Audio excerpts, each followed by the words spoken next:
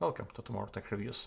In previous video, we've created a REST API with FastAPI and ECS Fargate. Today, I want to test how it will scale on load.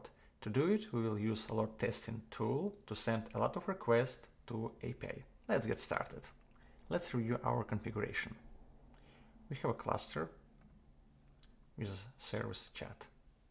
In task definition, we have a task with ARM architecture 25% of CPU and half of gigabyte of memory. Let's check auto scaling policy.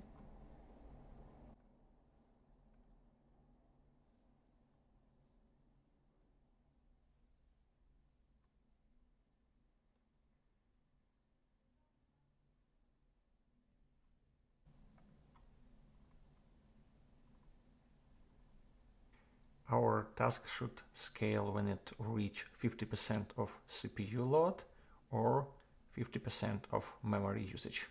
Here in CloudWatch we can see metrics for CPU utilization, memory usage, number of running tasks or number of requests to application load balancer. Now let's send some requests and see how it will grow.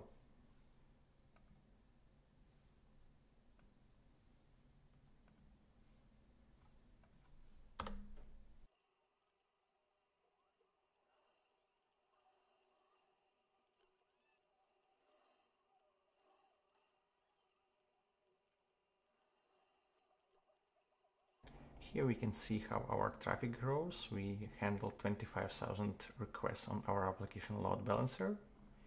Here we can see how our CPU utilization memory usage grows and how grows our count of running tasks on ECS. Well done. We built a scalable ECS service with Fargate and prove it can scale. See you.